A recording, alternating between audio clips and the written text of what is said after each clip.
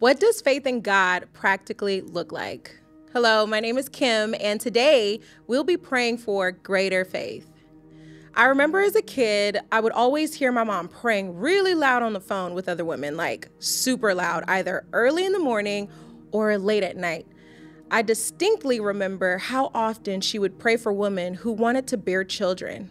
I remember hearing the desperation, the conviction in their voices as they prayed to this invisible, all knowing, all powerful God to answer their prayers.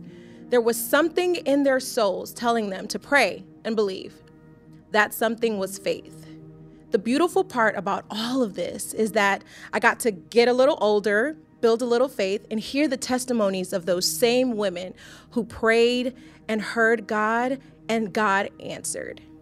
The Bible says in Hebrews 11, verse 1, that faith is the substance of things hoped for and the evidence of things not seen.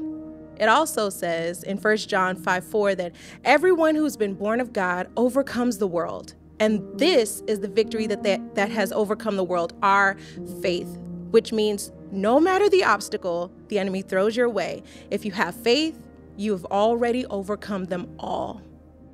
The truth is, faith requires a dependency on God that doesn't come easily. Life is hard, and faith is what strengthens us to handle life's toughest battles. Faith is not just believing in God for the impossible, it's trusting Him when you can't track Him. So if you're in need of a little bit of faith today, I have good news for you. The Holy Spirit helps us in our unbelief when we struggle with faith. So don't be discouraged if faith isn't your strong suit right now.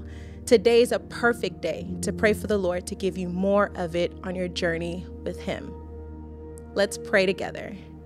God, we thank you so much for the gift of faith that you give to your children, those who trust in you. I pray right now, Father God, that you would give us a greater measure.